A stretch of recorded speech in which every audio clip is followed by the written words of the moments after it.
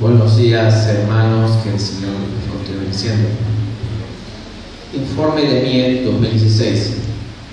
Pastor Pedro Rosano, presidente de la Asamblea, hermano David Orellana, pastor de nuestra iglesia, hermanos presentes. Gracias y paz a vosotros, Dios nuestro Padre Celestial y del Señor Jesucristo.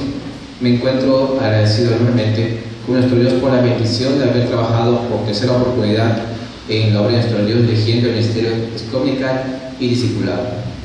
Detalle continuación a los hermanos que nos ayudaron en este año 2016.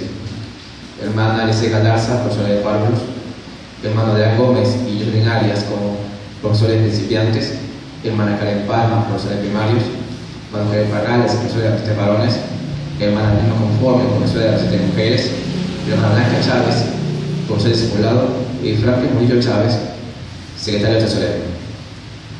No hubo cambios en el funcionamiento económico encaminado a enseñar a nuestros niños la palabra de Dios desde las 9 de la mañana hasta las 10 de la mañana antes del culto emocional en nuestra iglesia. Si continúan partiendo clases regulares a cada grupo a través de materiales de nuestra iglesia con el fin de capacitar a los maestros la enseñanza hacia nuestros niños.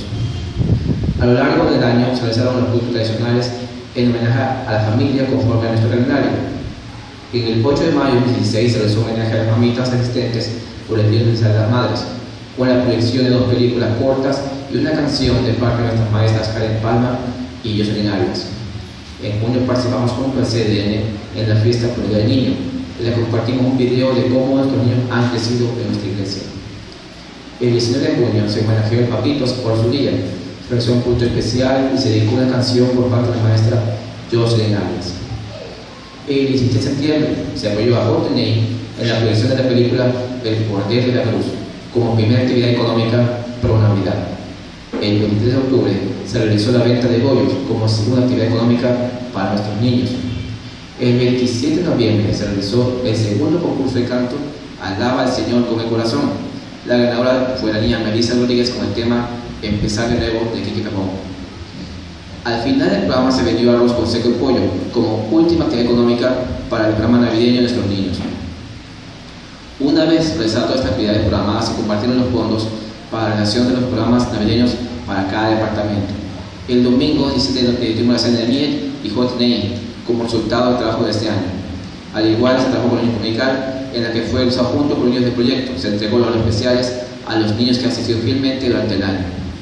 Si alguien tuviera el deseo de ver detalles de actividades realizadas durante mi gestión, puede hacerlo desde Facebook de Franklin Leonardo Moyo Polanco. Tirando mi informe, recalco mi agradecimiento nuevamente a nuestro Dios por darme confianza en esta importante labor y por darme su dirección en cada edición para alcanzar los objetivos trazados y por permitirme compartir estos momentos con nuestros niños. Agradezco también a los padres nuevamente, a los maestros, los que permanecen, a los que se han agregado por ser incondicional, los que han cursado ese mismo entusiasmo y personalismo que se adquiere para mantener a los niños entusiasmados y fieles hasta el día de hoy por amor a la obra. Agradezco a la Iglesia que ha apoyado todos nuestros proyectos confirmando que es una familia unida y que sabe la importancia de todos los ministerios en la obra de Dios. Agradezco también nuevamente a don Querido Parrellino y al Concilio JNI, quienes han mostrado como fuertes aliados en el dolor que compartimos a los padres de nuestros niños que siguen confiando en sus hijos para caminarlos hacia una vida agradable y hacia los hasta Cristo. A mi esposa que me ha asistido en la organización del grupo de clases y a mi amigo Franklin Jr. que me dio lección y invitación de todas las cosas siempre fue necesario.